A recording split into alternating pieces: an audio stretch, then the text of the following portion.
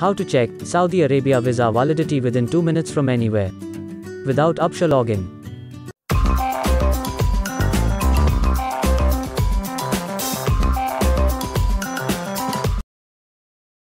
Open Google Chrome or any other browser.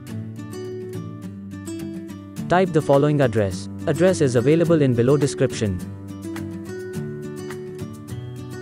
If you want to change language into English, click on this. If you are a Ikama holder, please click on Ikama number.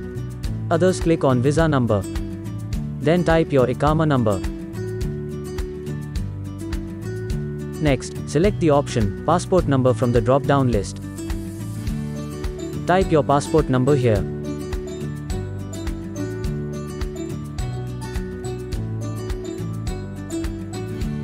Click on check button.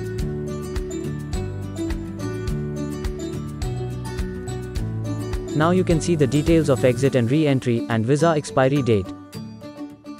Thank you for watching my channel Tech Support by Hanzil. Please subscribe my channel for more useful videos.